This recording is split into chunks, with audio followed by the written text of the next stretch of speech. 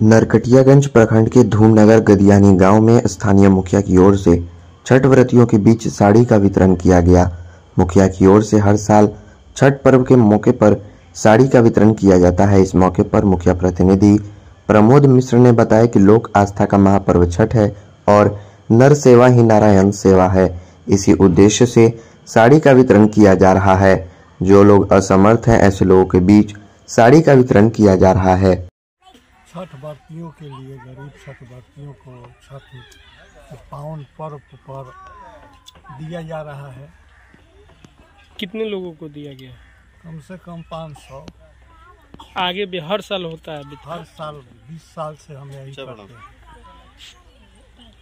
साड़ी का वितरण किया जा रहा है। क्या कहिएगा इसको लेकर? मुखिया थे प्रमोद मिश्रा जी या नहीं थे? उससे पहले से ये वितरण करते हैं गरीबों के लिए।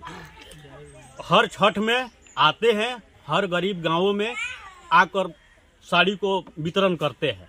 ये पूरा पंचायत में बांटते हैं। इससे इनको होता है क्या कि जितना लोग छठ करते हैं, वो सब लोग दुआ देते हैं। छठी मैया इनको आबाद रखे और सुरक्षित रखे कि ताकि हर साल ये बांटते रहे। लोग के गाँव में साड़ी के मुखिया जी वितरण करत का कहम? कहत हैं तो सुनी ना। बोली कि धूमनगर गदियानी टोला हरजन टोली में यहाँ सांसद विधायक कोई एक रुपया चंदा न देला न कोई आवेला। हमारा धूमनगर पंचायत का प्रमोद मिश्रा मुखिया जी आज पाँच साल से कुछ आके यहाँ घाट के स्वागतो करेनी हर गरीब के एगो साड़ी बांटेनी महावीरी अखाड़ा भी प्रमोद मिश्रा जी। अन्य काम में। हर एक काम में भी यहाँ के कोई बेटी के शादी ब्याह में होता है कम बेस में।